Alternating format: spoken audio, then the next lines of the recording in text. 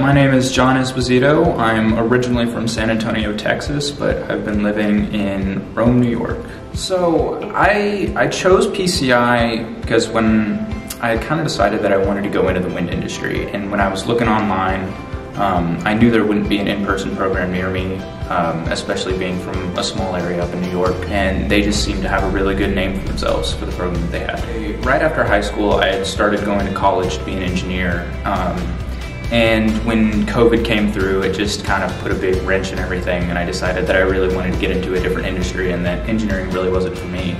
Honestly, I'm really looking forward to being up on top of that tower for the first time. Um, call me crazy, but I really enjoy troubleshooting, but I had a blast with it.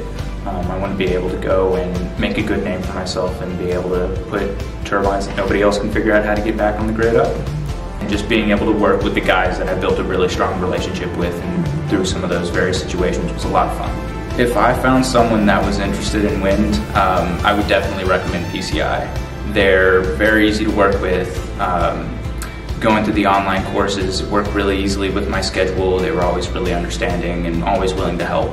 And especially coming up here to the boot camp, just being this this 10 day process and there you go, you have everything. It really has been a fantastic program that I would recommend to anybody in the industry.